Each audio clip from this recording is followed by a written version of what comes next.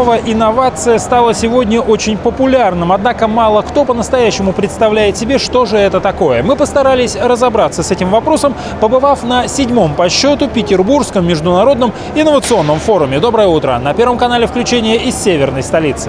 Петербургский инновационный форум – мероприятие масштабное. В его программе и выставка промышленных предприятий, и фестиваль механотроники и робототехники, и целый спектр конференций, семинаров и круглых столов. Все, что имеет, имеет элемент новизны, безусловно, можно назвать инновацией. Новый продукт, новый материал и новые технологии. В этом случае это как бы инновация, да, то есть три буквы N, три буквы И, оптимальная инновация. Но любая, любая вещь, которая имеет э, уникальность, какую-то особенность, можно, в принципе, назвать инновацией. В Петербурге есть институт, где с момента его основания ничем иным, кроме инноваций, не занимались. Башню научно-исследовательского института робототехники и технической кибернетики знает каждый житель северной столицы. Но что происходит в ее стенах, известно единицам.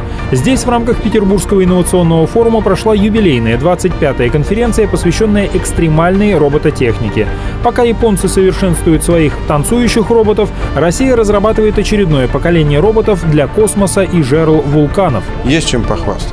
Особенно в космическом э, направлении э, есть целый ряд заделов и направлений, которые на сегодняшний день э, финансируются нашим государством. Также есть мероприятия и военных областях, э, которые э, становятся очень актуальными. Этих роботов не увидишь в обычной жизни. Главная задача для них — работать там, где не сможет человек. МЧС России — главный заказчик подобных образцов. Однако сегодня спасатели интересуют роботы уже следующего поколения. Как показал опыт э, практических реальных работ, при крупномасштабных авариях опасность потерять одиночный робот достаточно высокая, его эффективность низкая. Поэтому необходимо создать такой рой, семейство, группировку наземных э, воздушных роботов для ведения таких работ. Не секрет, что робототехника стала очень популярной сегодня не только в научной среде, но даже у школьников.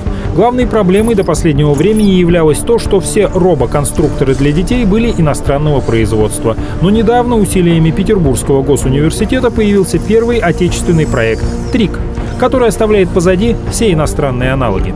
Коллектив Э, преподавателей и сотрудников университета смог реализовать э, самое главное, что э, нашу разработку это мозг робота, который позволяет делать роботов, умеющих видеть, слышать, разговаривать. Даже, к, при, к примеру, сейчас можно увидеть, что он за нами подглядывает видеокамеру и даже слушает, что мы с вами говорим.